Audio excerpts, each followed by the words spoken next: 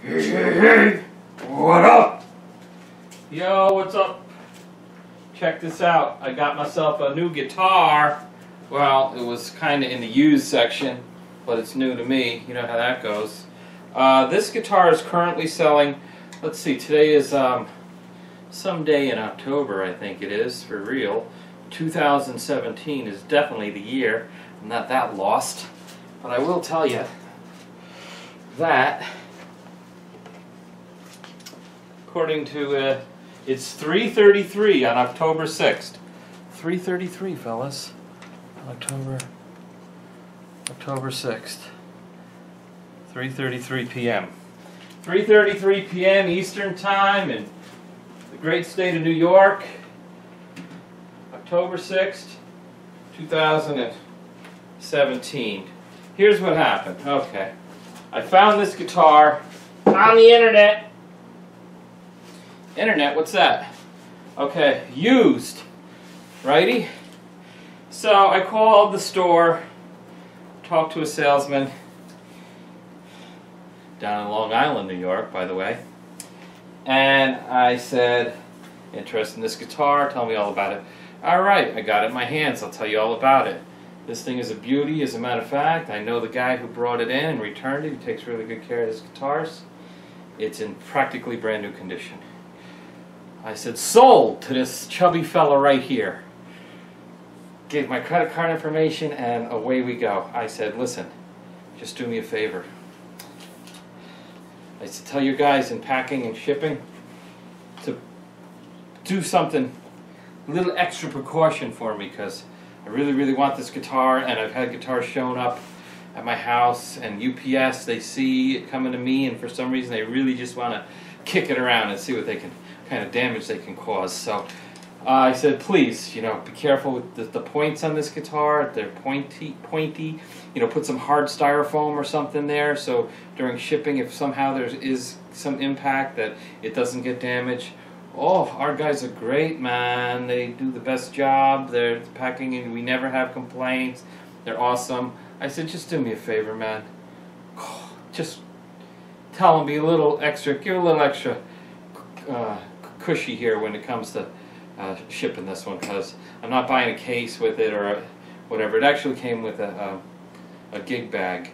And so the guy put in the gig bag. Well, anyway, it is in practically brand new condition. It's currently selling on uh, all your favorite internet websites for $649.99. It is a Jackson KEX.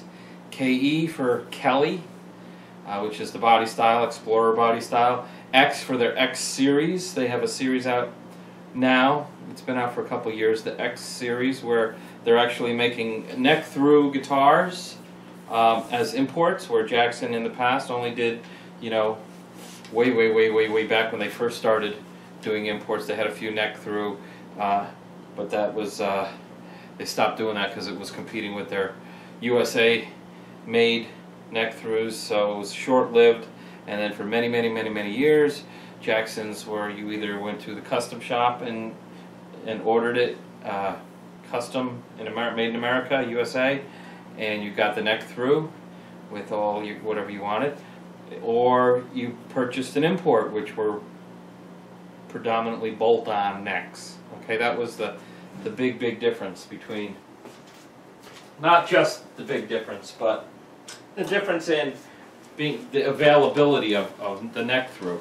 Okay, the quality was in the the American made ones are, are definitely a higher standard, higher quality, better quality control, better wood, all that good stuff. So, uh, you know, if you have an American made Jackson, you know, thumbs up to you, bro, or honey, honey, whatever. So, um, anyway, get back to the story. I get the guitar. I'm really excited, and uh, I see the box. It looks like it, was, you know, a little bit mangled on the end. I said, ah, don't tell me.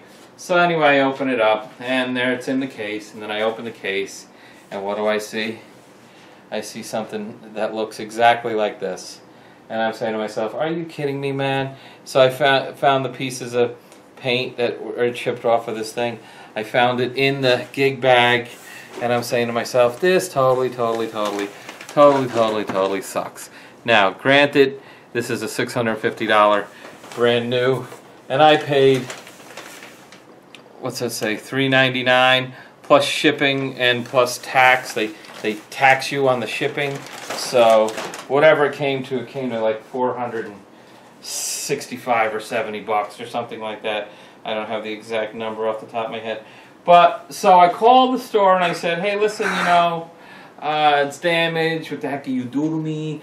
Uh, the the salesman wasn't there, so I wasn't able to call him and say, "Listen, punk, I told you, man. I told you. I didn't want this to happen." But anyway, the lady, uh, the manager said, "Oh, we can't. Uh, bring it to your, you know, return it to another store." I said, "No. Why should the other store get your mistake? You know, you guys screwed up. I want this to go back to your store, really, and I shouldn't have to drive."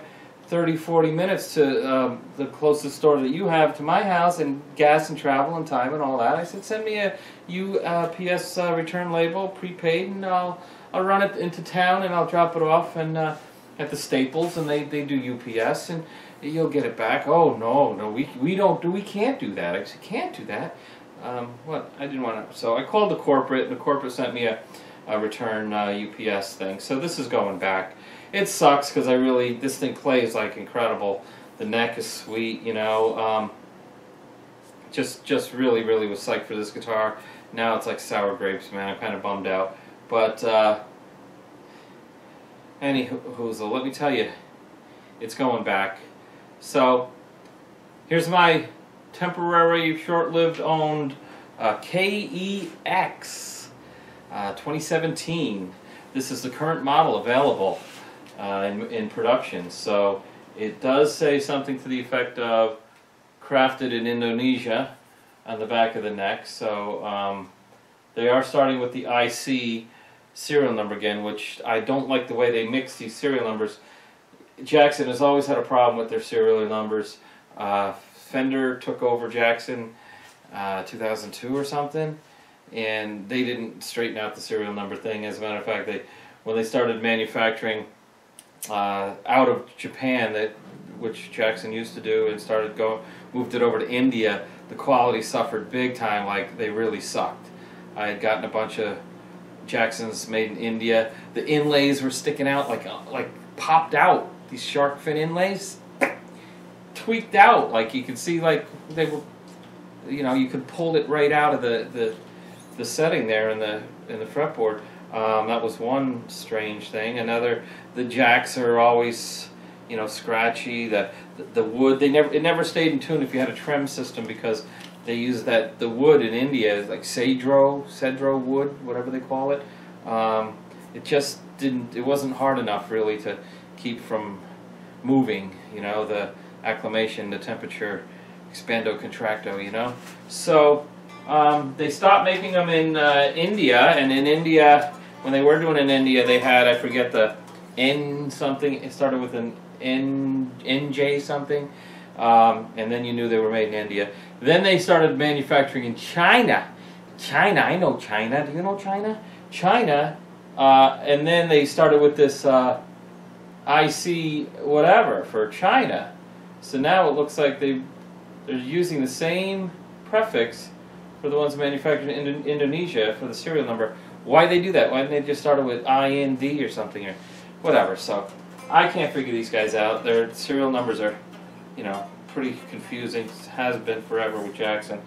And you think with Fender that they would have straightened it out a little. But what Fender did is they demonetized the value of Jackson guitars. You can buy a brand new Jackson bolt-on import for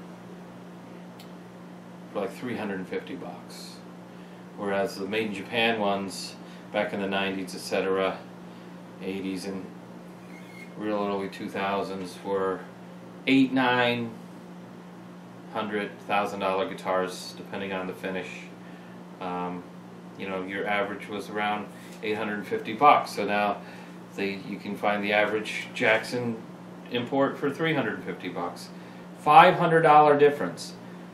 Well, what does that tell you? That tells you that Fender is a bigger company. They got more buying power. They got more, um, you know, manufacturing power, whatever. But the quality diminished. The Jacksons are, you know, I have a bunch of the made in Japan ones, and uh, they're not quite a collectible yet. But you know, people that know guitars that want that want a decent Jackson that can't afford a, a USA, um, they they may step up to this uh, X series, which is it's decent, made in Indonesia. It's all right, man.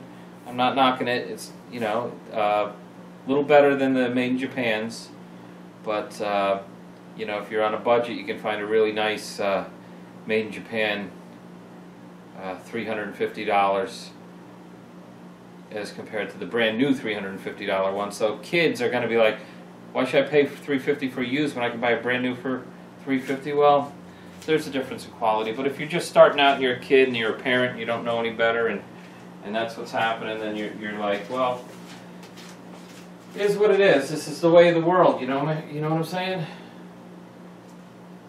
So, without getting too crazy here, I definitely mouth the mouth the mouthful. That's my story, my opinion. You know, I'm sure other people have found out the same thing. So here we go.